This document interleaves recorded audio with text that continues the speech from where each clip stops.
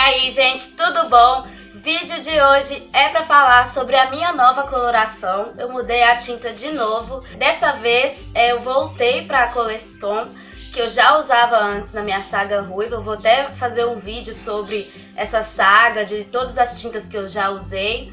É, voltei com a tinta Coleston. Quem pintou meu cabelo foi a Sueder. Ela trabalha no mesmo espaço que a Cris, minha esteticista. Lá é uma clínica e também um salão. Então eu vou deixar aqui todos os contatos, caso você seja de BH ou região. E é isso. Vou deixar o antes também, como que foi esse procedimento, a cor dele. Eu sempre gostei da Colestone, eu acho que é uma tinta muito boa. E é isso, eu espero que vocês gostem. Se inscrevam no canal se ainda não é inscrito, deixem um like, compartilhem com seus amigos. Um beijo e até o próximo vídeo.